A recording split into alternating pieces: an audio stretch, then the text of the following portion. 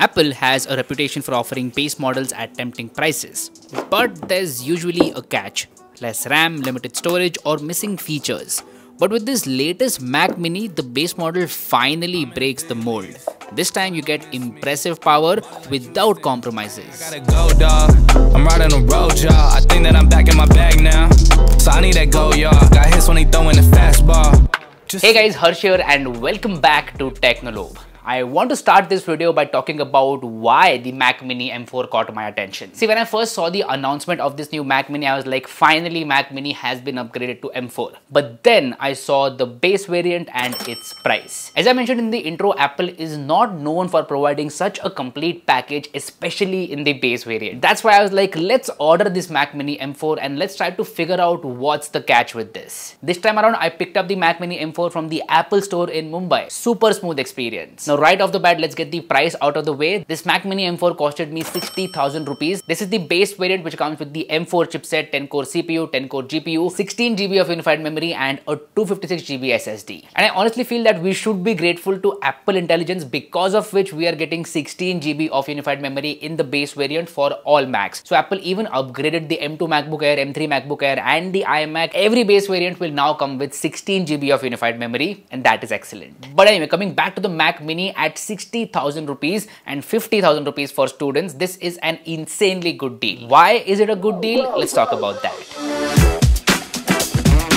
Apple has upgraded the design of Mac Mini after long and they've done a very good job at it. The size has shrunk a lot. The name Mac Mini finally makes a lot of sense. Like here is a side-by-side comparison of the Mac Mini M2 Pro which I have been using for the past year and the new Mac Mini with the M4 chipset. The size has shrunk by a lot. It is only a 5 inch by 5 inch square and even the height is not that big. I thought that it will be way taller as compared to my Mac Mini M2 Pro, but that is not the case. It is just slightly taller. And this design change also comes with a change of ports. Apple has got rid of the USB-A ports on the Mac Mini. We now only get USB Type-C ports, but thankfully they did not get rid of the HDMI port. So you can directly connect this to a monitor using the HDMI port or the Thunderbolt 4 ports which are present on the back. Now one great thing that Apple did is giving ports on the front. So there are two USB Type-C ports on the front which are not Thunderbolt but they are USB Type-C which can be used to connect a lot of accessories and there's also the headphone jack on the front which again is a good move. Super convenient for headphones and wired audio. So they did not go too far in terms of changing the ports. It is a good upgrade.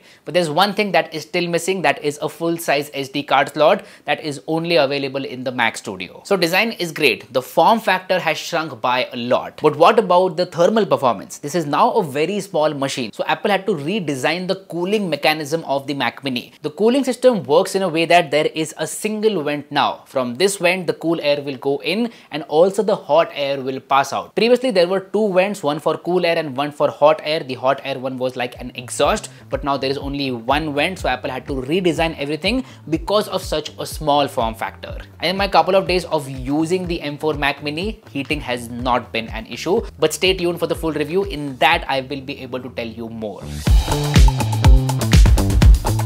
Alright, this is the main thing, performance. I ran Geekbench on my Mac Mini M2 Pro, my MacBook Air M1 and also this Mac Mini M4 and here are the results. The M4 chipset is awesome. It is also beating the M2 Pro chipset which I honestly did not expect. I thought that it will be close to M2 Pro but definitely did not think that it will beat M2 Pro. So now this machine becomes really powerful on a budget. I also tried video editing on the Mac Mini M4 using Final Cut Pro and everything works smoothly. Scrolling through a 4K timeline adding effects, transitions, sound effects, text, whatnot, and everything works smoothly. I have not noticed any major lags whatsoever. So one thing is clear that M4 is a very powerful chip for the price of rupees 60,000. I think it's going to be great for video editors, designers, photographers, and even software developers. But with that being said, it is not for gaming. If you buy the Mac Mini M4 for gaming, that would be your second mistake. First mistake would be thinking about gaming on a Mac. So performance with M4 is great and also 16 GB unified memory is a welcome upgrade. But the base storage is still 256 GB and that has not been upgraded. And the base variant comes with a slower drive as compared to other variants. So please keep that in mind. It is not a huge issue in terms of speed, but yeah, the storage capacity is definitely less. So if you end up buying this machine, you will have to invest in external drives because it is not upgradable. Once you buy it, the unified memory and storage are not upgradable. You will have to rely on external SSDs. And while we're on the topic of upgrades, any sort of upgrade on the Mac Mini M4 will cost you a bomb. Like if you want to upgrade to a 512 GB SSD, that will cost you 20,000 rupees, which is insane. In that same price, you could probably get 2 or 3 TB of external SSD. Typical Apple move, pricing the upgrades very high. Now, one controversial design aspect is the power button. I'm going to agree with MKBHD over here, like the conspiracy theory of MKBHD, that there is one person at Apple whose sole job is to come up with annoying ideas so that people keep talking about Apple. I definitely think this is a marketing thing. Do something so annoying that people keep talking about it. Placing the power button on the bottom side of the Mac Mini is one such thing. I don't know who came up with this, but it is definitely not a good move. Now I know that a lot of people don't really use that power button. Even I just put my Mac to sleep. I don't really use the power button, but still placing it on the bottom is not convenient.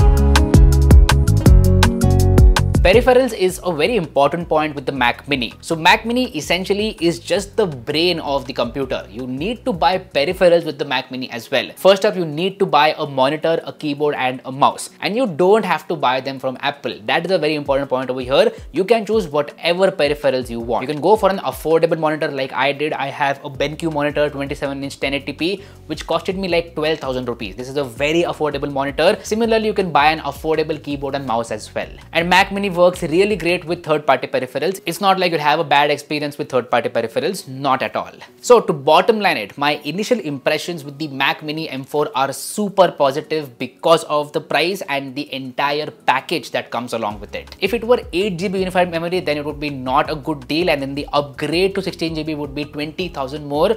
Again, not a good deal. But the fact that Apple gave 16GB of unified memory in the base variant, that makes it an insanely good deal. Now this M4 chipset particularly gets me excited for the new MacBook Air. Whenever MacBook Air will be upgraded to M4, that's when I will change my MacBook Air M1. I still use the MacBook Air M1 when I'm traveling or something like that. When the M4 variant comes, that's when I will upgrade because it will be a significant upgrade for me. It is definitely a great chipset. So yeah, if you are a creator, a professional software developer, whatever, then you can go with the Mac Mini M4 and it will give you super performance. And it won't break the bank. That is the main point over here. If you want to buy it, I will make sure to drop a link to it in the description box below. So yeah, that's been it. Do let me know what do you feel about this video in the comment section down below. If you want to see more comparisons, videos, whatever on the Mac Mini M4, let me know your requests in the comments as well. Hit that like button if you like the content, subscribe to the channel because it will mean the world to me. My name is Harsh Punjabi and I'll see you guys in the next one. Bye bye.